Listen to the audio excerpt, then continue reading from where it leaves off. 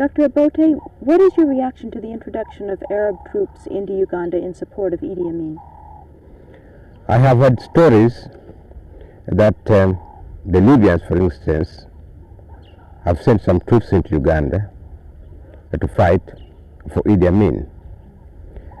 Now, we are not fighting the Arabs in Uganda.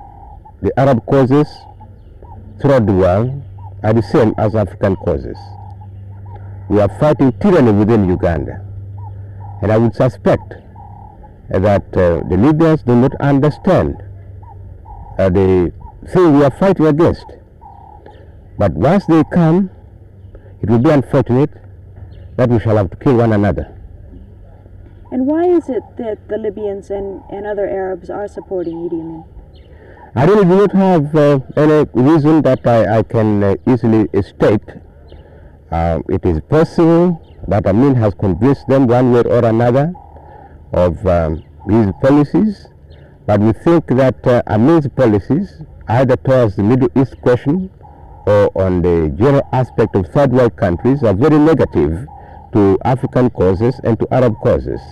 Amin really uh, cannot prosecute any policy.